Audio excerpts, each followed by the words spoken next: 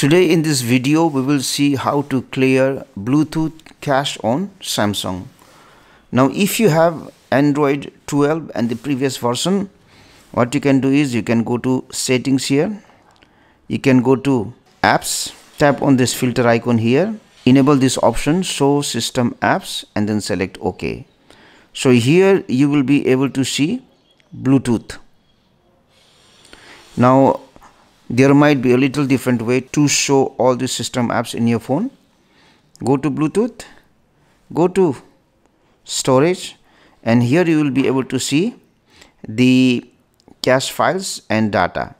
Now if you have android 12 and previous version you can select this option clear cache and clear data. But if you have android 13 and the later version you will not be able to clear the cache files and data of bluetooth in this way so the closest thing that you can do is you can go to settings. You can go to general management. Go to reset.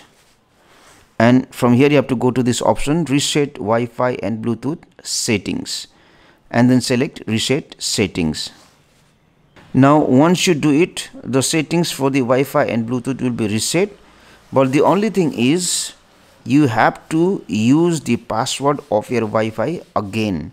This will clear the password of the Wi-Fi that you have saved. Also what happens is if you have Bluetooth devices connected to your phone then the devices will be removed. So you have to do this one at your own risk.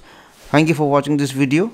Please subscribe to my channel and hit on the bell icon to get the notification of our latest videos for free.